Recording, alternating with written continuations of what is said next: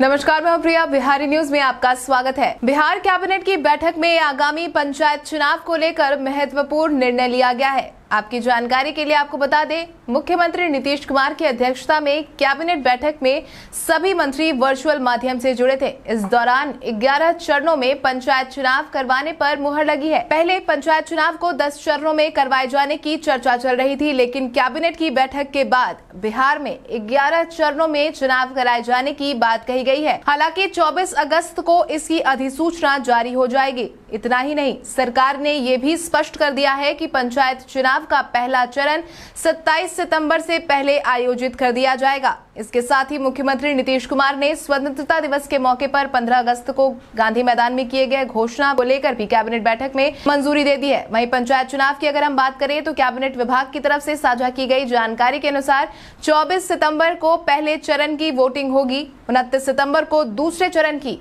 8 अक्टूबर को तीसरे चरण की 20 अक्टूबर को चौथे चरण की 24 अक्टूबर को पाँचवें चरण की 3 नवंबर को छठे चरण की 15 नवंबर को सातवें चरण की 24 नवंबर को आठवें चरण की 29 नवंबर को नौवें चरण की 8 दिसंबर को दसवें चरण की और 12 दिसंबर को 11वें चरण की वोटिंग करवाई जाएगी। हालाँकि इसको लेकर के 24 अगस्त को अधिसूचना आना बाकी है, जिसके बाद किन चरणों में किन किन जिलों के चुनाव का आयोजन करवाया जाएगा, इसको लेकर सारी स्थिति साफ़ कर दी जाएगी। आपकी जानकारी के लिए आपको बता दें कि बिहार में पंचायत चुनाव को लेकर तैयारियाँ लगातार जारी है।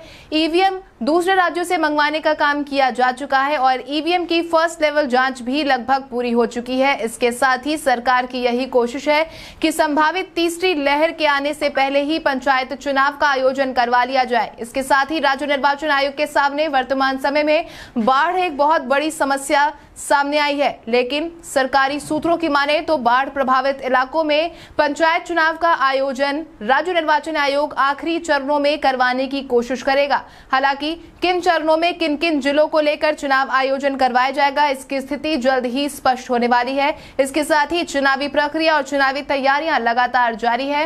राज्य निर्वाचन आयोग यही कोशिश कर रही है कि कोविड नाइन्टीन के माहौल में चुनाव का आयोजन सही तरीके से करवाया जाए। इसके साथ ही हमने जैसा की आपको पहले भी बताया था कि पंचायत चुनाव का आयोजन इस बार चार पदों पर ईवीएम के माध्यम से होने वाला है तो वहीं दो पदों पर बैलेट पेपर का इस्तेमाल किया जाएगा। यानी कि इस बार का चुनाव, पहले के चुनाव के मुकाबले निष्पक्ष तरीके से करवाने की तैयारी की जा रही है। हालाँकि पंचायत चुनाव में एक शिकायत आम थी कि बोगस वोटिंग और अन्य तरीके की गतिविधियाँ देखने को मिलती है, लेकिन इस बार यही कोशिश है कि ईवीएम के माध्यम से चुनाव को निष्पक्ष तरीके से करवाया जाए, जिसको लेकर के तैयारियाँ तेज है। हालाँकि कोरोना और बाढ़ अभी भी सरकार के सामने में दो बड़ी चुनौती है, जिसको कैसे और किस तरीके से राज्य निर्वाचन आयोग पूरा करती है, ये आने वाले समय में पता चलेगा इसके साथ ही आज के इस वीडियो में बस इतना ही। तब तक के लिए